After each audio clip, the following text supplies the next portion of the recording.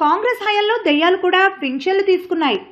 నాలుగు లక్షల ఇళ్ళు కాంగ్రెస్ వాహా చేసింది. ఆధునిక సాంకేతిక పరిజ్ఞానాన్ని రాష్ట్రంలో ప్రవేశపెట్టింది టీడీపీ హయాంలోనే.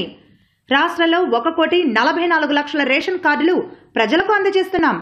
యాభై లక్షల మందికి పెన్షన్ ఇస్తున్నాం. గ్రామాల్లో పదమూడు లక్షలు పట్టణ ప్రాంతాల్లో ఏడు లక్షలు ఇళ్ళు కట్టిస్తున్నాం.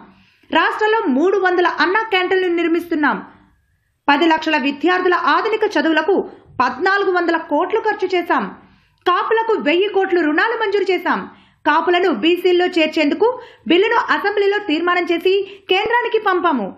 కాపు రిజర్వేషన్కు టీడీపీ కట్టుబడి ఉంది. త్వరలో రెండు విడతల రైతు రుణమాఫీ ఒక్కసారి చేస్తాం. పామాయిల్ రైతులకు మద్దతు ధర కల్పించేందుకు కృషి చేస్తాం. ఉన్నాం. నేను కూడా ఒక వంద రోజులు తిరుగుతాను. వంద రోజులు తిరిగి మొత్తం ఇన్ఫర్మేషన్ అంతా సమీకరించుకుని మీ మనోభావాలు అర్థం చేసుకుని భవిష్యత్తులో మీ అందరికీ మెరుగైన పాలన ఇవ్వడానికి ముందుకు పోతామని చెప్పడానికి మీకు తెలియజేస్తున్నా. ఇక్కడికి వచ్చిన చింతాపూడి గ్రామం ఇది. అందులో బోయగూడెం ఒక హ్యామ్లెట్ ఇది. ఇప్పుడే నేను ఎస్సీ కాలనీ మొత్తం తిరిగి వచ్చాను.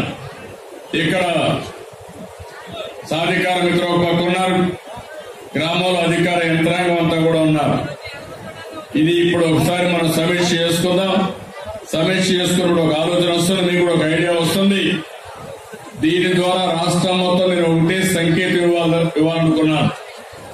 ఈ ప్రభుత్వం పనిచేసే వాళ్ళకు అండగా ఉంటాం. ఎక్కడికక్కడ ప్రోత్సహిస్తాం. ఎవరు ప్రజలకు అండగా ఉంటారో వాళ్ళే నాకు దగ్గరగా ఉంటారు. వాళ్ళే నేను అభినందిస్తా.